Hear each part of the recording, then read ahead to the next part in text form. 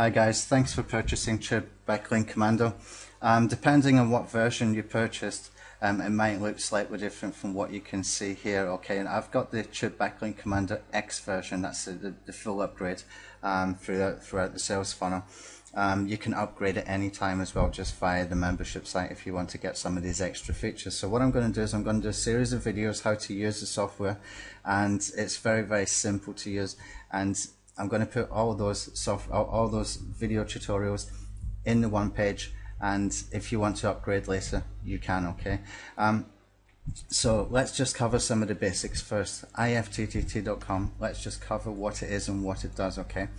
You can see here um, ifttt.com has got what they call channels okay? Channels um, as far as we're concerned, they are Web 2.0 properties. That's the ones that we're using to create the link wheels. Now, what IFTTT does is it creates what they call triggers and actions, okay?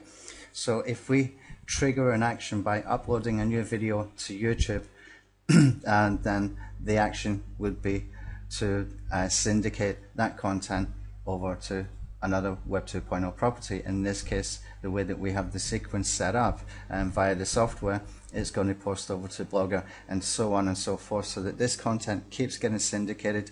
At the same time it's creating a link wheel okay? It's always going to have the embedded link going back to YouTube and it will have a link to the last URL as well. Now this is a very powerful strategy. It's worked very very well for myself and for a lot of existing customers.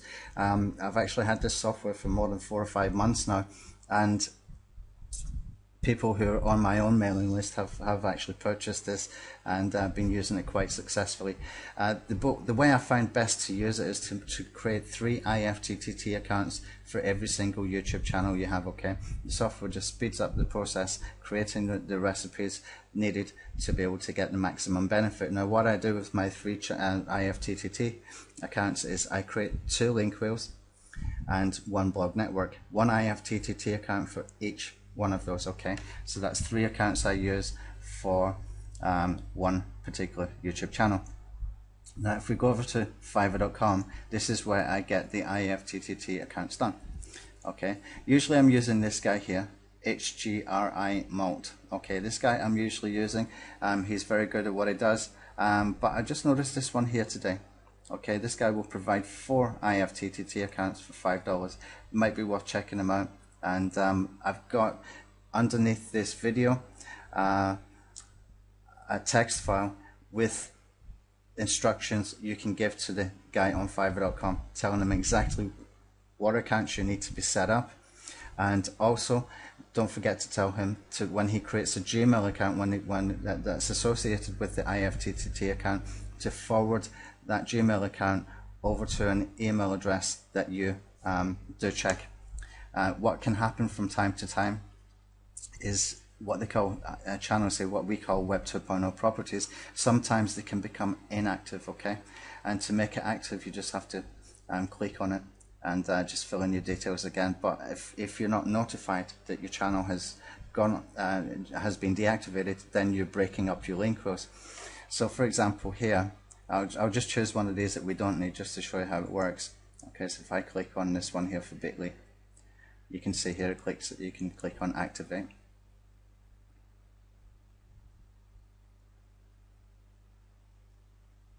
And it's asking you to sign in. Okay it would be either with a username or email. In this case um, they're giving us some options for Facebook and Twitter as well. Um, once you're signed in you have to click allow.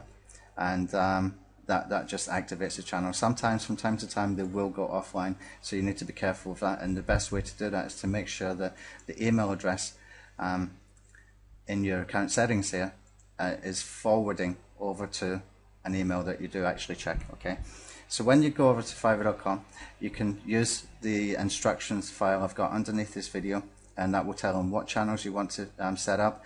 In that instructions file, I, I have told them not to create a YouTube channel. And the reason for that is that um, it's very, very difficult these days to be able to use accounts created from a different place. Okay, what I do is I tend to create all my YouTube accounts um, myself. I do maybe one or two uh, every one or two weeks, just whenever I get time. I can sit there, you know, even watching TV. Sometimes I can sit and create a channel in the background, and um, that way I've got everything working from my home IP but if you're using uh, different IPs uh, like, like squid proxies or something you can um, I suppose just get someone to do that but you're going to have to claim that um, via uh, text verification which can be a little bit tricky if you've done that from a different location okay although you can still do it you're just going to have to use your own cell phone number or a friend's right now what we can do here is once we've got the, the accounts back. This is from this uh, guy who I mentioned first. This is what it looks like.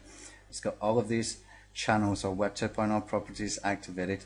And when we click down here on the tabs here for Hootsuite, you can see I've got another um, bunch of accounts created as well.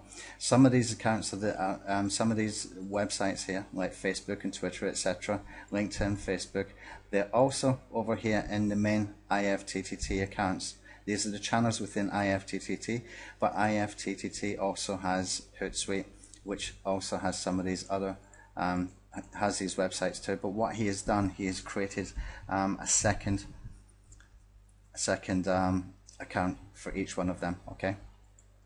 All we need to do though is go up here where it says IFTTT login details, and we want to take the username and the password from here, and we're going to use that for the software. Okay. Let's go back to the software, put that in here. I want to take the password. Control C, the password. Control V, and that goes in there. So now we can sign in. Okay, this is what you will see once you're signed in, and all we have to do now um, within the IFTTT IFTTT YouTube um, tab up here is we click on create recipes and the software will get started in just a second and it will go and start creating these recipes in a sequence that means that every time you upload a new video to YouTube that video will be syndicated in a sequence um, of, of um, syndication that will create link groups for every video that you, you upload okay? So the only thing you really need, need to watch out for after that is to make sure that your email address associated with IFTTT is actually forwarding to an email address that you use so that if any of these channels get deactivated then you are you're aware of it and you can go and fix it immediately and that way your link post will never get broken okay um, this takes a few seconds to get started um, had a previous version of this. I've actually had a, this software for about four months. Um, it's been tested well. There's about 60 or 70 people from my own email list who have, have been using this so far. And um, it was a little bit faster, so we'd have to do a little bit of work. Probably by the time that you get this, it's going to be a lot faster and you can see this and kicking off and, and moving really fast and going through the, the recipe cre creation.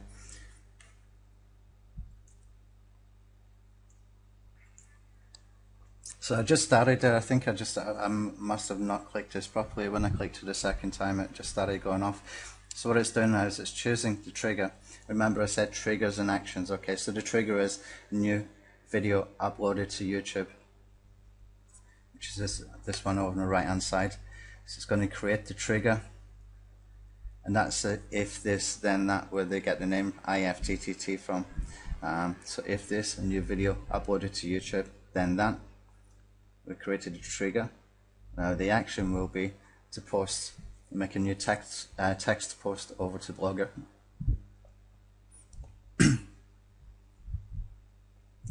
and what you need to be aware of once once you're um, uploading a video to YouTube, you need to remember this video um, will get syndicated across all these different Web 2.0 properties. Um, with that in mind, you want to make sure that you're using um, good information in, in your titles and your descriptions. Um, you're using uh, tags and labels and stuff like that, and so that these things get uh, syndicated with the maximum SEO value for them. Okay, so you can see here for every new video uploaded by my channel here, which is kissim.org, um, then a new post will be created on Blogger which IFTTT does for us, okay? So that's how that works, and this just goes through, and at the end of it, um, all the recipes are created. So I'm going to pause the video until it's all done, and I'll come back when it's done. Okay, so now we've got something like 12 recipes created, and let's just go through them. Um, so you can see the end ones here. Um, Zootool is a, is a bookmarking site, as is Diigo.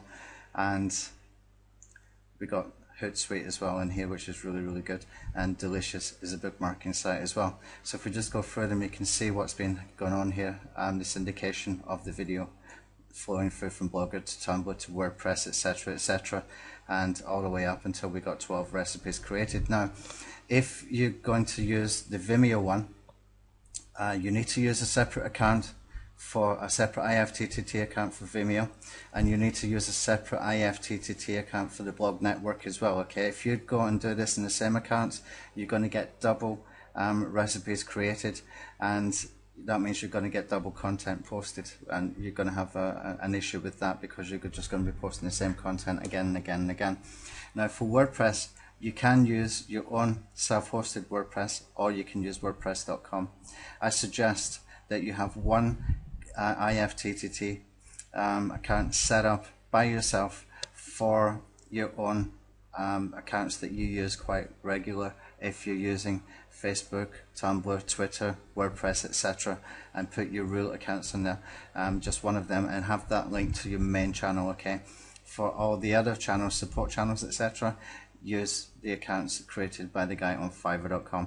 So that's it. It's really, really very easy. Um, it's basic and it, it's a very, very powerful strategy. Don't underestimate this. I mean, a lot of people asking me how I managed to rank a squeeze page for um, the keywords YouTube SEO, and this is one of the main reasons because I was using this syndication system here, along with the, the YouTube channel link wheels as well, and some other bits and pieces that I showed um, during the YouTube link wheel Commander launch uh, last time. If you didn't manage to see any of those videos, you can get them on the kissim.org website. That's K-I-S-S-I-M.org. Um, you can go and find those videos on there. And um, you can see the way that I set up channels um, from from start uh, to be able to get the maximum power out, out of the um, of the um, channel optimization etc okay so that's really how you can use the uh, tube link wheel tab. And it's really three steps. One you get over go over to Fiverr. You get the guy to set up IFTTT account. Two, you fire up the software, you log in, and three, click create recipes, and that's it. Now when you're done here, go to the top up here and click sign out.